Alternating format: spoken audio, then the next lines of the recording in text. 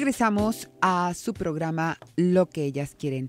Y mire qué interesante. Bueno, pues fíjese que de esto yo estoy de verdad, em, yo soy una buscadora continuamente y, me da un gusto este, poder compartir con usted esto que creo de verdad es de un gran beneficio y, sobre todo de, impartido por personas que de verdad tienen toda la capacidad.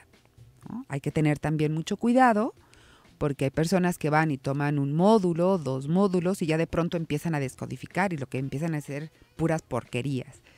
Qué bueno que este usted, por ejemplo, el, el ejemplo de Néstor me parece maravilloso. Dice, a mí me ofrecen en ocasiones comida en el almuerzo.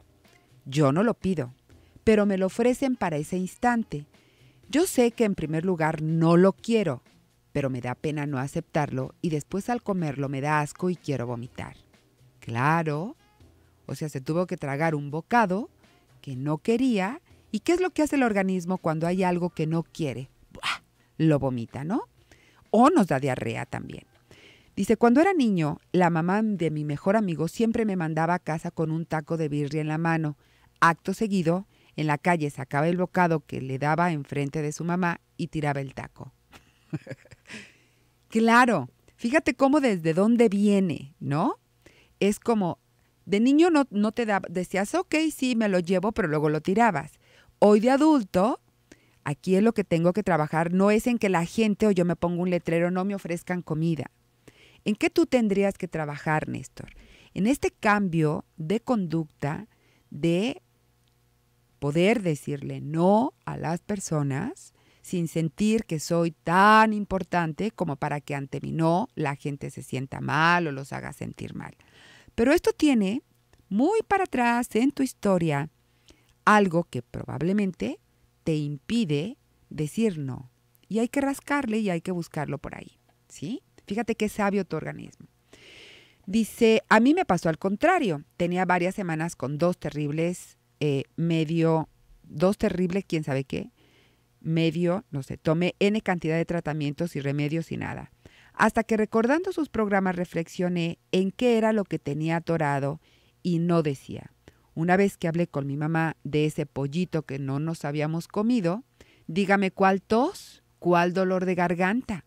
Sí, es que es así de sencillo. Fíjese cómo la enfermedad realmente nos viene a sanar, ¿no?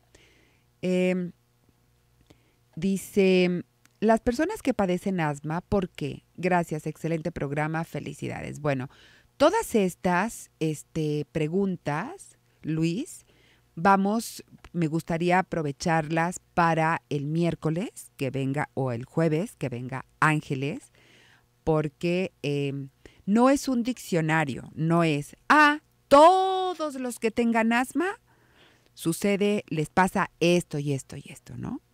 Entonces, porque hay, por ejemplo, asma que es por una alergia y que solamente tienen asma cuando es el periodo de polinización. Hay personas que las crisis de asma les dan en las noches. ¿Por qué cree usted?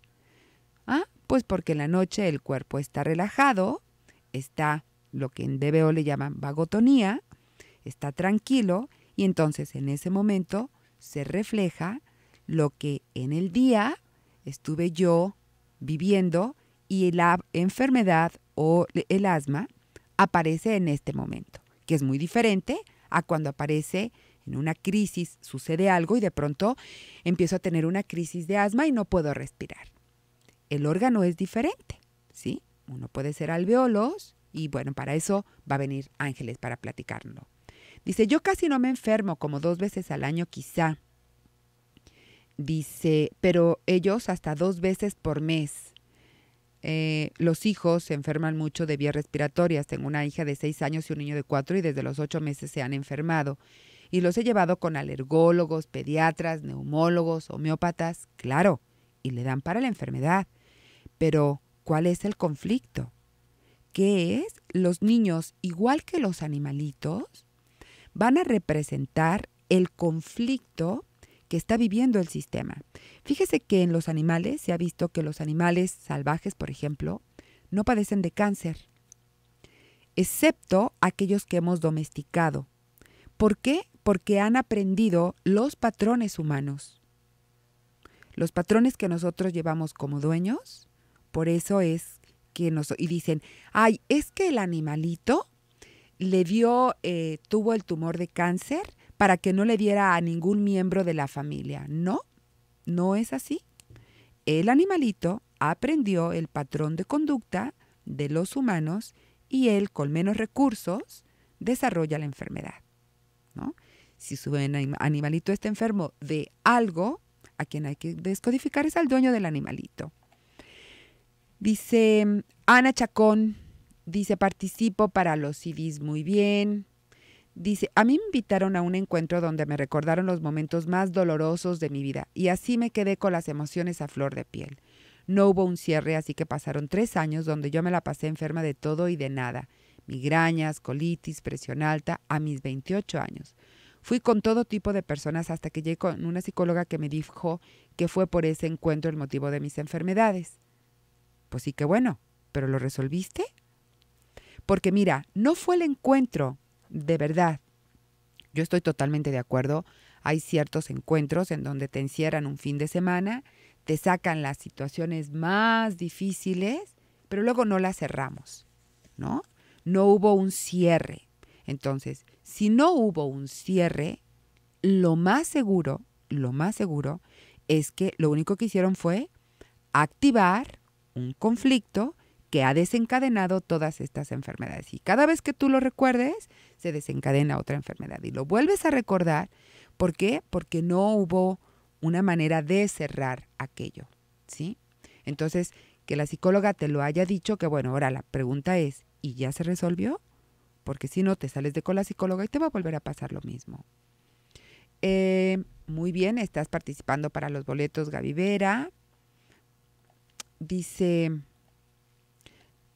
ah, nos están avisando que los semáforos de Plaza Patria en el sentido de que va a Avenida América hacia Vila Camacho no está funcionando y que es un caos para cruzar la calle. Ay, hay que tener cuidado por ahí. Bueno, vamos a ver quién se lleva, y acabo de postear en mi Facebook los datos de, de la charla de Ángeles, para que si usted quiere, este, e, estas personas que van a ser las ganadoras del día de hoy, le voy a pedir que vaya con su identificación a el día de la conferencia, que va a ser a las 6 de la tarde en el Colegio de la Veracruz, esa que está por la calle de San Miguel, por Chapalita, y ahí ya van a tener su nombre, ¿de acuerdo?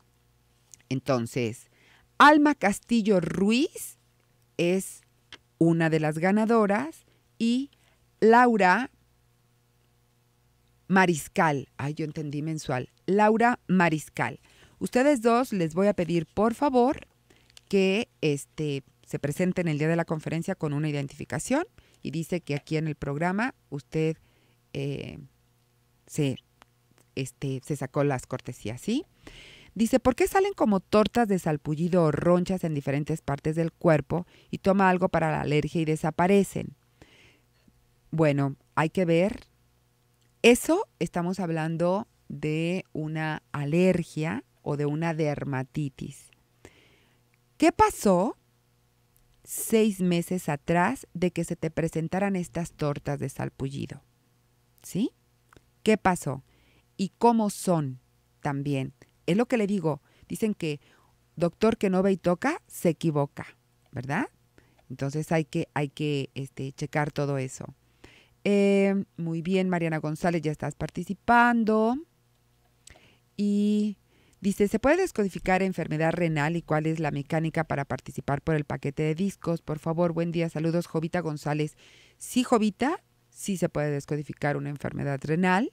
Necesitamos ver si el órgano no ha llegado ya a una insuficiencia este, eh, para ver, ¿no? Y la mecánica para participar por los discos es que tú nos mandes por WhatsApp o vía telefónica qué es lo que ellas quieren. Bueno, Mil gracias por el favor de su atención. Yo lo espero mañana en punto de las 11 de la mañana con este mismo tema aquí en su programa Lo que ellas quieren. Yo soy Alicia Soltero. Hasta mañana.